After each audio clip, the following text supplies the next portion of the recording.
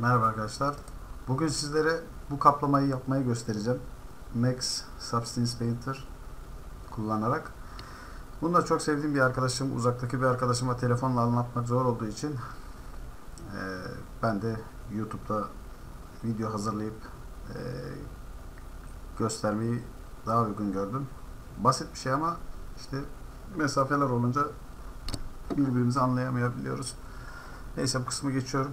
Şimdi hemen yapımına geçiyorum. Öncelikle Max'imizi açalım. Bir tane plane oluşturuyorum.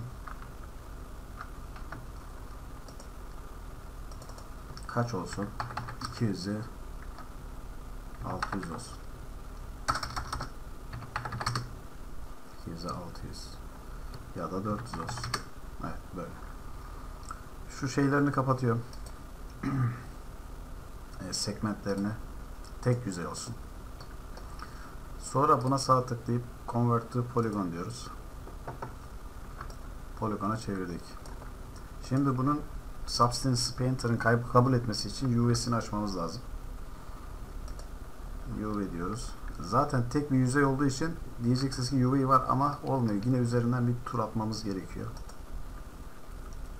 Yani şuradan tıkladığım yerlere bakarak da zaten anlayabilirsiniz olayı.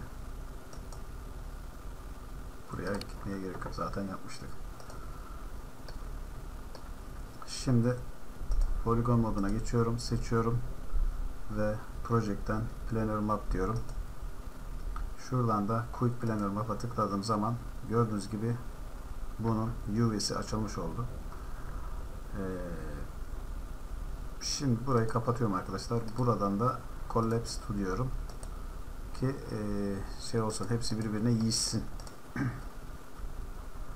Böyle bir şeyim var. Bunu şimdi e, Substance Painter'a export yapıyorum.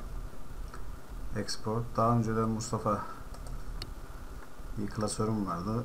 Buraya e, zemin diyelim ya da g ground, ground diye kaydediyorum. Substance Painter'a geliyorum. New diyorum. New'den Select'ten oluşturmuş olduğum, export etmiş olduğum ground nesnesini seçiyorum. Burada çözünürlüğü 1024. Yani ben denim olduğu için 1024. Burada OpenGL ve hatta DirectX var. Eğer PC için yapıyorsanız yani hangi oyun şey için yapıyorsanız onu seçeceğiz. Ben e, mobile yaptığım için mobilde OpenGL ile çalıştığım için OpenGL'i tercih ediyorum. Sonra OK diyoruz. Ve kaplamamız geliyor. Burada alt tuşuna basıyoruz. Mouse'un sol tuşuyla şöyle aşağı yukarı yaptığımızda görünür. Buradan biraz bahsedeyim. Burada sağ taraf kaplamanın e, tekstüresidir. UV'sidir. Sol taraf ise objenin kendisidir. Şimdi 3D 10 ile çalışalım. Şunu şuradan siliyorum. Sıfırdan oluşturuyorum. Oluşturmadan önce e, iki tane şeyim var benim. E, şöyle. Birisi çimen. Diğeri de işte toprak. Bu ikisini kullanarak bir şeyler yapmaya çalışacağız. Tekstüre modundayken bunları buraya sürüklüyorum. Evet. Buraya sürükle bırak diyorum. Udemy'den tekstüreyi seçiyorum. Buradan da tekstüreyi seçiyorum. Buradan Current siyasını seçiyorum arkadaşlar. Import ediyorum. İkisi buraya geliyor tekstüre moduna. Şimdi buraya bir tane paint e, painter layer ekliyoruz. Aynı Photoshop mantığındaki gibi. Ve sağ tıklayıp base color'una ben buradaki toprağı sürükleyip bırakırsam burayı boyadığım zaman bu toprak gelecek. Tabi böyle bir boyama hoş olmuyor. Çünkü fırçamız belli değil. Hatta önce kenarlardan başlayalım. Şöyle. Dedim bak böyle boyamayla hiç şey olmaz. Bunun için fırça menüsünde brushes menüsünde şu 4'yi seçiyorum ben. Bu daha çok güzel. Daha çok hoşuma gidiyor. Şöyle şuralardan başlıyorum boyamaya. Hani bu bir şey yol, toprak yol.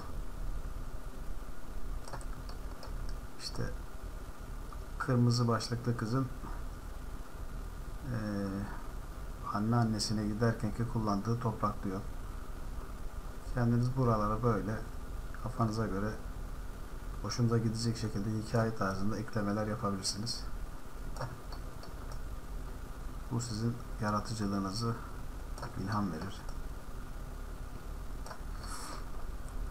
Şimdi ne yapalım? Tekstüre gelelim. Şu base color'u bununla değiştirelim. Şimdi ortayı toprak yapıyorum. Burada gördüğünüz mantık hepsi, bütün her şey için geçerli. Zaten bu Substance Painter bunun e, şeyini de oluşturuyor. Displace map'ını da oluşturuyor. Normal map'ini de oluşturuyor. Her şeyini oluşturuyor. Bir sürü seçenek var. 10 numara 5 yıldız yani bu şey Substance Painter. Kullanımı çok kolay. Ve istediğiniz kaplamaları çok rahatlıkla oluşturabilirsiniz arkadaşlar. Şimdi biraz daha ekleyeyim şu şeyden. Ee, tabii şimdi diyeceksiniz ki bu şey e, böyle püskürtmeli atıyor ya fırçayı. Mesela şu aralar falan boş kaldı. Şu aralar falan boş kaldı. Oraları nasıl dolduracağız hocam? Hemen onu da göstereyim. Bu kadar yeter diyelim ki. Araları da şöyle dolduruyoruz. Buradan e, Smart Material'a gelin. Smart Material'da bak burada bir sürü materyal çeşidi var. Burada skin yazın. Yani deri demek. Mesela şu human insan derisini sürükleyip bunun altına bırakıyoruz. Bunun altına bıraktığımız zaman ne oluyor?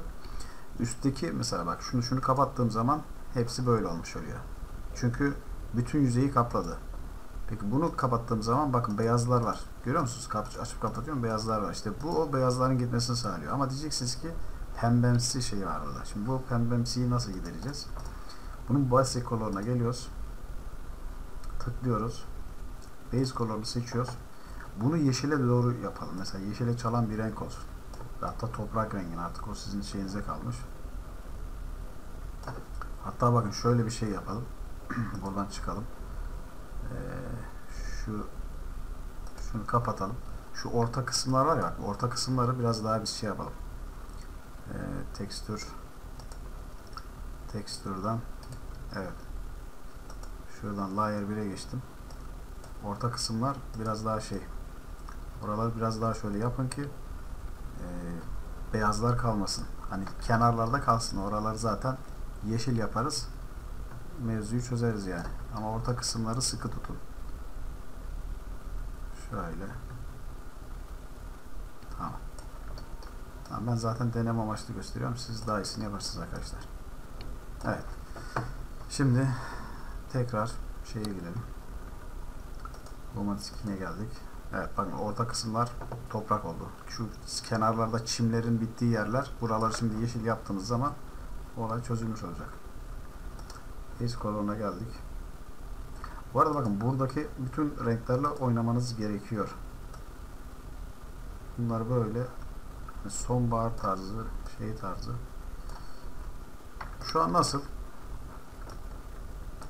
Bence çok güzel oldu. İstediğimiz görüntüyü yakalamış olduk yani.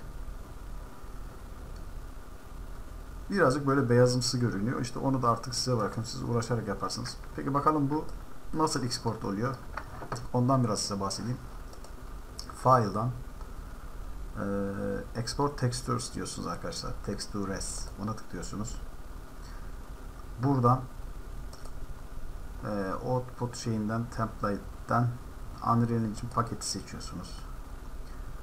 Buradan JPEG işte hangi dosya formatı ise ona. Buradan da çözünürlüğü mesela 2048 olsun. Burada Dilation Infinite kalsın arkadaşlar. Şurası 8 bit. Burası çıkacağı yer. Yani neresi export subscriptor masa üstünde Mustafa'nın içinde textures'un içine textures diye klasörü seçtim. Export dediğim an şu an çıkartıyor. Çıkarttı. Şimdi biz Unreal Engine'in içine gidelim. Unreal Engine içindeyiz. Import diyelim. Ground nesnesini Max'ten buraya exportlamıştık. Aç diyoruz. Import diyorum. Daha sonra bunu sahneye sürükleyip bırakıyorum. Bir play'e basalım. Karakterimiz düşüyor. Neden düşüyor? Çünkü karakterin altında değil. Bak bu burada. karakterin başlangıç yeri şurası. Şöyle yapalım. Hatta bunu e, bir daha basalım bakayım arkadaşlar. Yine karakterimiz düşüyor. Bunu birazcık şöyle işte 50'ye 50 dersek basalım bakalım. Yine karakterimizin. Bu yukarıdadır kesin. Şöyle left'e geçersek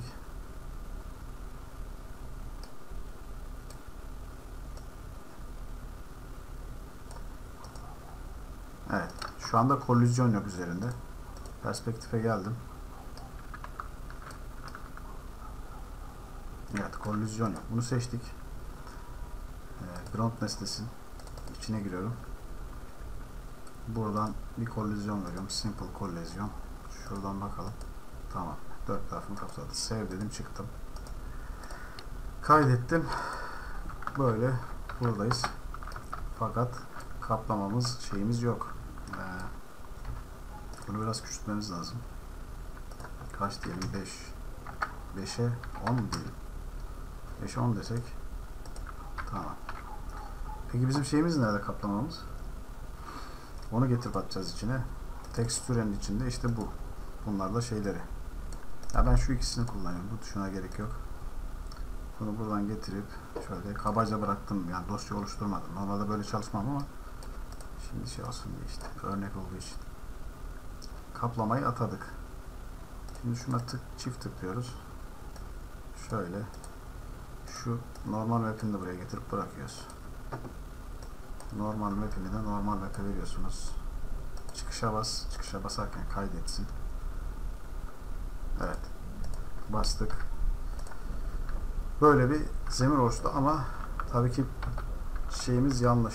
Şimdi oradaki şeyi biraz düzeltmek lazım. Önce şunu bir kaydedelim. Biz buna 5'e 10 demiştik değil mi? 5'e 10 değil. Burada kaça kaçtı bu? Ya, buradan da gelse ayarlanır yani. Şurası 5 e, Burası da 10 Yok. Burası da 5 5 diyelim. Bakalım bir. İşte gördüğünüz gibi kaplama Substance Painter yöntemiyle çok mükemmel oldu. Ha, bunu şey olarak kullanabilirsiniz. Mesela e, UV'sini düzgün açtıysanız mesela şunu şöyle bir şey yapalım. Birkaç tane şöyle götürelim. Evet. Gördüğünüz gibi arkadaşlar bak şurada birazcık şey yaptık titreme var. O titremeyi de şöyle çözebilirsiniz. Yani tam milimetrik olursa şey olmaz, sıkıntı olmaz. Ee, burada şöyle bir şey var. Ee, bu kaplama mesela bu kaplama bir tane ama siz bunu birçok yerde kullanıp bir bölümü tamamlayabilirsiniz. Bunun mesela şeyine bakalım. Kapladığı yere bakalım.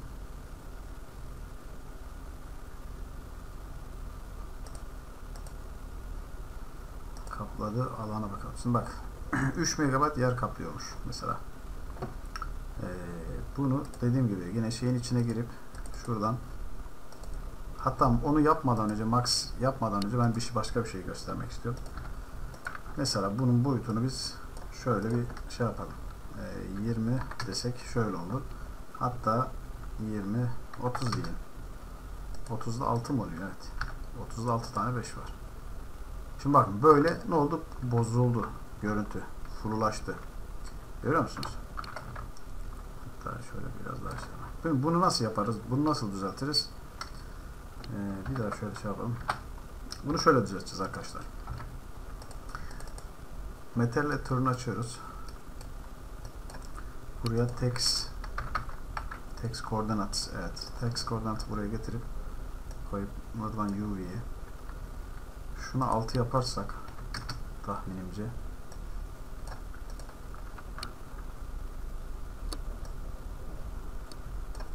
yok baştakini 6 yapacağız bunu 1 yapacağız yine ya bu Max'teki T-Link gibi bir yöntem yani Evet. Bakın şuraları e, yaparken Substance Painter'da şurada bir çizgi var ya orayı e, bunu düşünerek yaparsanız daha mükemmel olur. Yani e, birazcık böyle şey bırak yapsa, yapacaktınız. Hani şimdi başlangıcıyla sonunu şöyle göstereyim. Bakın şuralarda uzaktan bakınca şöyle kesik kesik kesik şeyler var. Onu düzeltmenin yöntemi de şu. Şimdi bakın burada mesela e, kaplamamız bitiyor ya. Yani şurada bitiyor ya. Kaplam şöyle düşünelim. Kaplamanın başı şu burası. Bittiği yer burası. E ben bunu bir daha uzattığımda ne olacak? Şu bittiği yere şu başlangıcı koyacak. Başlangıçla bittiği yer aynıysa Max'in şey e, Unreal Engine'in içinde yani kusursuz görünür. Zannedersin ki hiç şey yok. Arada bu çizgiler yok. Onu işte hesaplayarak yapsanız daha iyi olur. Ama bu şekilde mesela tek bir şeyle e, yüzeyle bayağı bir bölüm götürecek kaplama elde etmiş olduk. Mesela bunun da şimdi biraz boyutunu düşürmeye geldi sıra. Dediğim gibi şuna çift tıklayalım. Ee, şu şurada max yazalım. Kaç olsun bu mesela? 256 olsun mu? Önce sıfıra şey yapalım. Bak şu an kaç? 2048'e 2048. Çünkü biz Substance Painter'dan çıktığı verirken öyle verdik. 2731 kilobayt yani 2 megabayt 731 kilobayt yer kaplıyor. E, mobil oyun yapıyorsanız size çok önemli. 256 diyelim. Ama kaplamanın da değeri düşüyor yani. Bunu da şey yapmanız lazım. Aklınızda tutmanız lazım arkadaşlar. Şimdi bir daha bakalım. Yani yine gideri var yani kaplamanın. Hani 512 yapsak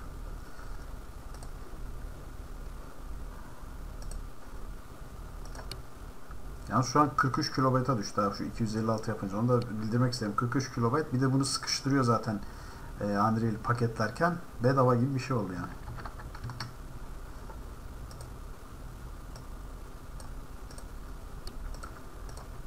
Evet. Bu da 512. Bunu kaça düşürdü? Bu da 171. 1024 yapalım. 1024'te 683 kilobayt yani 2 megabayt karımız var. Yani bu şekilde de gideri var arkadaşlar. Ee, dediğim gibi son son olarak şu şunu şuraya da bağlamayı unutmuşuz. Bunu da buraya bağlıyoruz. Çünkü şey de ona göre olacak. Evet bir daha bakıyoruz. Evet 10 numara 5 yıldız oldu. Mustafa umarım anlamışsındır kaplama yapmayı. Hepinize kolay gelsin diyorum. Sonraki derslerde görüşmek üzere. Hoşçakalın.